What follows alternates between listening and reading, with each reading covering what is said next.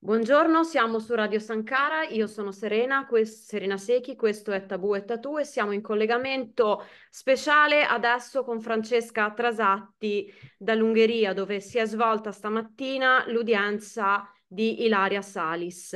Francesca Trasatti, che vi presento, è coordinatrice nazionale di Potere al Popolo ed è avvocata osservatrice per il CRED, il Centro di Ricerca ed Elaborazione per la Democrazia e ha partecipato all'udienza del processo contro Ilaria Salis. Francesca, buongiorno e benvenuta ai nostri microfoni. Ciao, ciao. Cosa puoi dirci?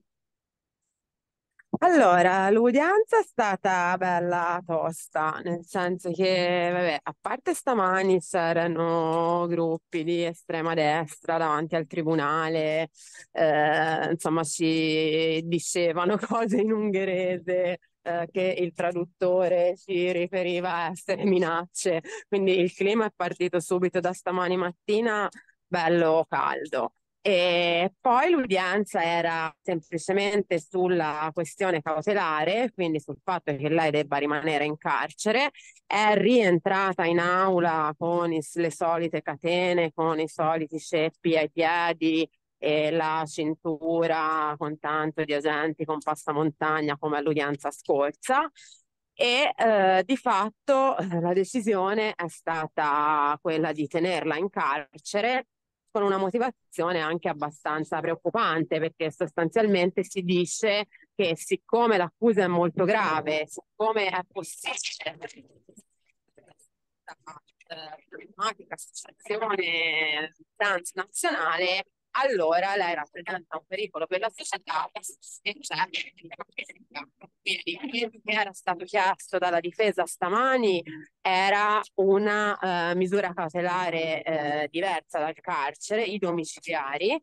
Era stato richiesto sia i domiciliari in Italia come prima richiesta, ma come seconda era stata richiesta anche i domiciliari uh, qui a Budapest in Ungheria, quindi era stata reperita una casa, Ilaria aveva un lavoro che avrebbe potuto svolgere da casa eh, in, in, modalità insomma, online, quindi avrebbe potuto mantenersi, c'era la disponibilità della famiglia e degli amici di sostenerla, di aiutarla, quindi eh, anche la possibilità appunto che non uscisse proprio di casa, aveva dato il consenso all'utilizzo del braccialetto elettronico, quindi comunque si era messa nella condizione di poter essere assolutamente sorvegliata anche dallo Stato ungherese con un domicilio qua in Ungheria con tutte le caratteristiche tali per cui la misura eh, potesse essere accolta.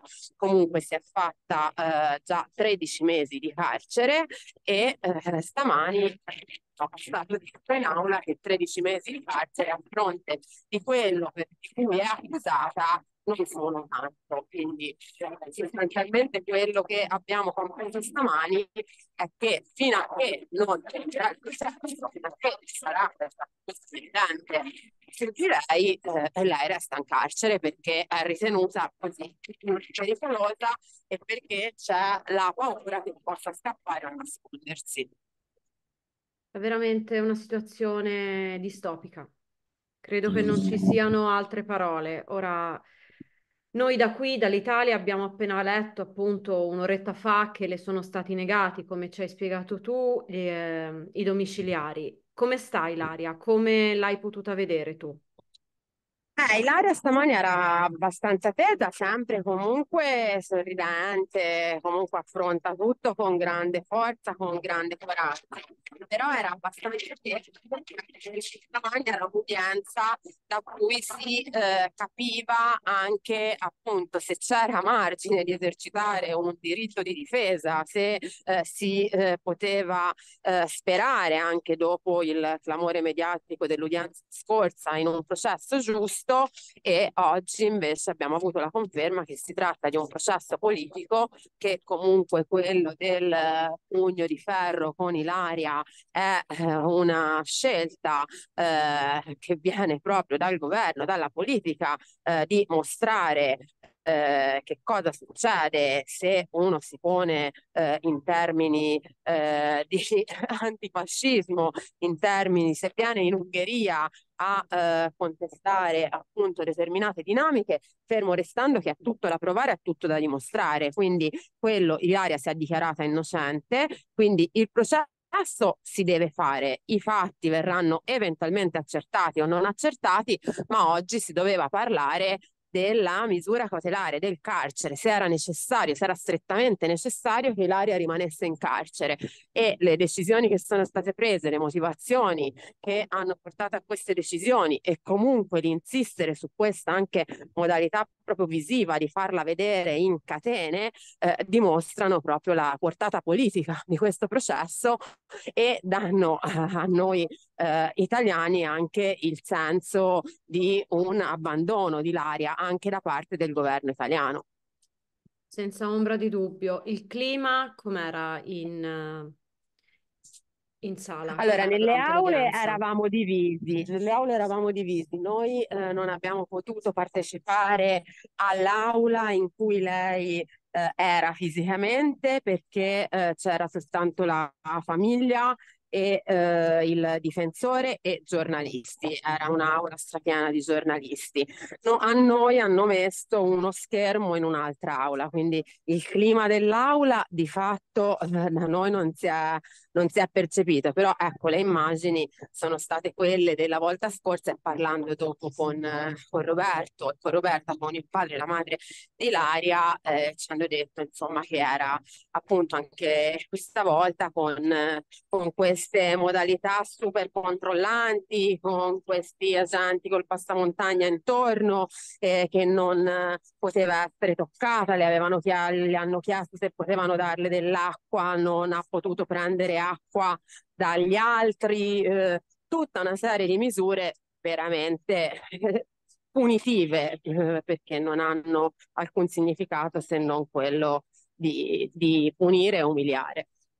Ecco, quando noi abbiamo fatto l'intervista con Roberto Salis, ci aveva spiegato tutta la trafila anche molto difficoltosa del andare a eh, a incontrarsi insomma con le richieste fatte dal giudice quanto alla preparazione per eventuali arresti domiciliari. E quindi è stata molto difficile reperire la casa con tutte le condizioni fatte ma eh, quanto è stato velleitario a questo punto? Nel senso... Eh no, è quello che è esattamente questo, cioè quello che ci lascia addosso l'udienza di oggi è proprio un senso di impotenza, nel senso che comunque le, i requisiti per poter sperare in, un, in una modifica della misura nei domiciliari qui in Ungheria erano abbastanza complicate, ci voleva il lavoro, un lavoro per cui non uscisse, un lavoro retribuito, ci voleva un immobile che non è stato per niente facile trovare trovare Immagino. qualcuno che lo affittasse, certo. perché qui il clima è, mh, mentre comunque in Italia ci sono, c'è stata la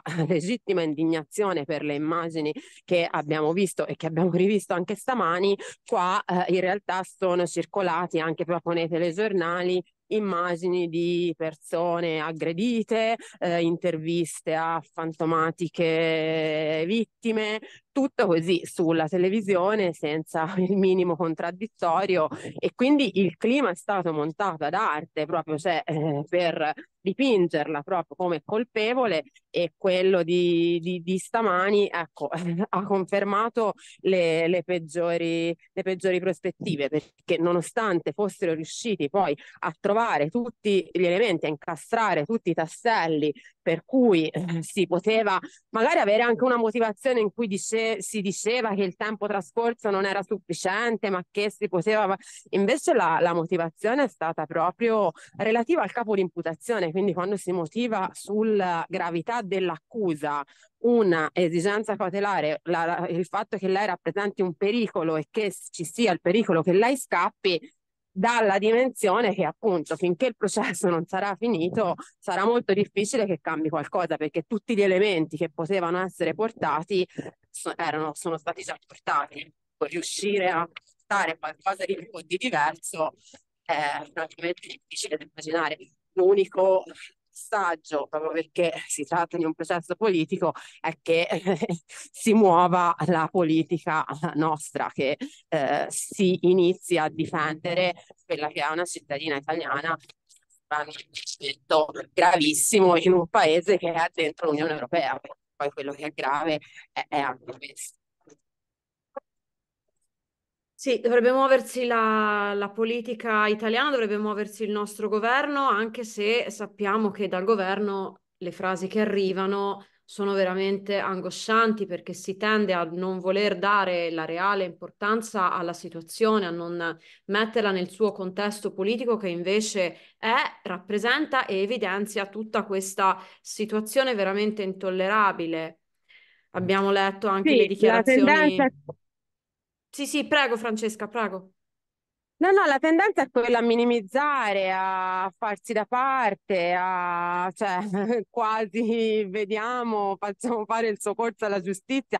Non si considera che quello a cui stiamo assistendo è un processo che non è all'interno delle regole di uno Stato di diritto che l'Ungheria sia condannata un giorno sì e un giorno no comunque eh, dagli organismi europei per la violazione dei diritti umani eh, è, è, chiaro a tutti, a tutte, quindi è, è, proprio anche un nascondersi dietro un dito, non voler affrontare una situazione con frasi anche abbastanza di circostanza che eh, non entrano poi nel merito eh, politico e giuridico di, di quello che è necessario fare perché ecco se quella di oggi era uno spartiacque se c'era la possibilità di eh, provare a eh, eh, vedere un, un, processo che appunto stesse all'interno degli argini del giusto processo quella di stamani ha confermato che no eh, c'è da intervenire con, con, altre, con altre modalità perché siamo completamente fuori da quello che è lo Stato di diritto e il giusto processo Anzi, esula proprio, esula completamente. Ora abbiamo letto che le dichiarazioni del vice premier e ministro degli esteri Antonio Tajani, che è proprio intervenuto dicendo che va bene, non c'è pericolo, non crede che ci sia pericolo di fuga, però eviterebbe di pubblicizzare, di politicizzare il caso, se no si rischia lo scontro, ha detto. Anzi, è proprio questa la cosa su cui puntare. Va politicizzato, è un caso politico. Il tema è che siamo già all'interno di uno scontro. Quello che sfugge a Tajani è che siamo già nel bel mezzo di uno scontro e che eh, l'Italia non sta facendo niente, anzi si sta chiamando fuori.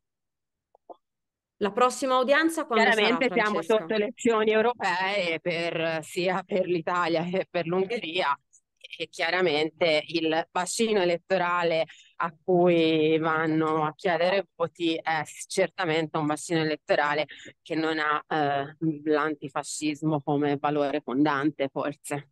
Forse è anche quello un, un altro dei problemi su cui dovremmo riflettere oggi. Ecco, la cosa è veramente sconcertante perché qui non si tratta soltanto di, di antifascismo, ma si tratta anche di antinazismo.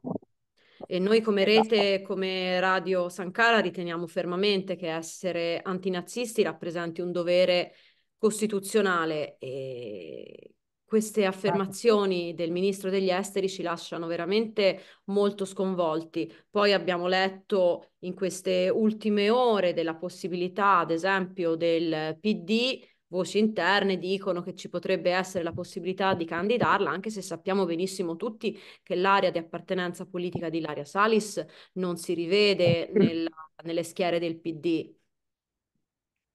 Decisamente lontana. Decisamente molto molto lontana, però ecco, come bisognerebbe procedere a tuo avviso?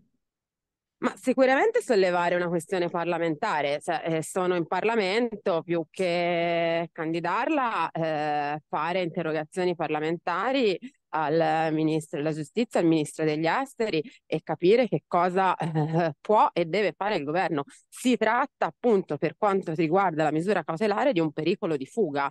Pericolo di fuga è possibile che eh, due stati non siano in grado di sventare un pericolo di fuga con eventuale braccialetto elettronico, controlli eccetera, e che non si riesca a trovare un modo per toglierla dal carcere nel mentre che viene celebrato il processo, nessuno dice che eh, si debba eh, non fare il processo, però quello è un altro piano. Cosa può fare invece ogni cittadino italiano per questo? Mobilitarsi, mobilitarsi e eh, farsi sentire, far eh, uscire, far eh, sentire appunto che questa ingiustizia che sta subendo Ilaria è un'ingiustizia che sentiamo tutti e tutte. Ecco, invitiamo i nostri ascoltatori e le nostre ascoltatrici a collegarsi poi con le pagine social di Radio Sankara dove abbiamo pubblicato questa mattina un documento nel quale eh, dichiariamo che riteniamo doveroso mantenere alta l'attenzione su quanto sta subendo Ilaria Salis adesso in Ungheria dopo 13 mesi di carcerazione in uno stato inumano, incompatibili con uno stato democratico e anche con le convenzioni internazionali sui diritti umani e sui diritti delle persone detenute. Molte associazioni, hanno, molte associazioni locali hanno aderito al nostro comunicato, ne daremo poi eh, contezza anche tramite gli organi di stampa e invitiamo tutti quanti si riconoscono in queste parole a contattarci a sottoscrivere questo documento. Francesca Trasatti, io ti ringrazio tantissimo a nome di tutta la redazione, ma anche a nome di tutte le persone che si rivedono in questi concetti importantissimi di eh, democrazia, di antifascismo e di antinazismo, perché anche quello che tu stai facendo è veramente un grande apporto e servono molte persone come te. Siamo in un momento abbastanza pericoloso perché quelle che erano conquiste e valori che davamo per scontati, per assodati, che eh, dovrebbero essere la base eh, di, di, delle nostre società, eh, subiscono sempre più spesso, sempre più frequenti attacchi e bisogna che la risposta sia collettiva, che eh, ci sia una risposta forte e chiara perché eh, è un momento in cui eh, bisogna ristabilire un attimo quelli che sono appunto i valori fondamentali su cui abbiamo fondato e vogliamo continuare a fondare le nostre società. Francesca, grazie ancora. Ti, ti lasciamo alla, alla, tua giornata, tu ora sei a Budapest immagino che non sia stato nemmeno facile collegarti e dedicarci questo tempo, ma te ne siamo veramente infinitamente grati. Va bene, poi ci rivediamo alle prossime mobilitazioni in benissimo, Italia. Benissimo, grazie e buona giornata Ciao. Francesca. Grazie a te, ciao.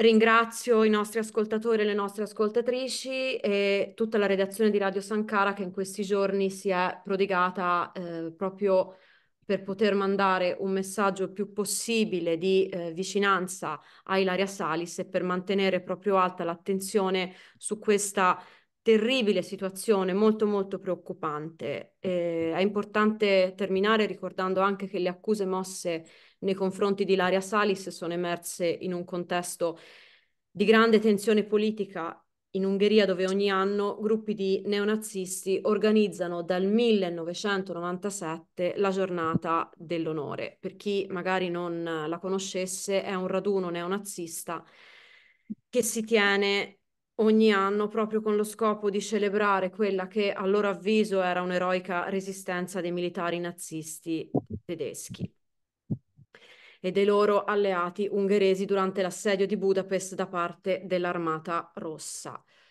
Concludiamo questa trasmissione chiedendo proprio la, l'apporto, la vicinanza e l'adesione a questo nostro documento da parte di tutte le persone che ci stanno ascoltando e che si rivedono in questi ideali. Buona giornata.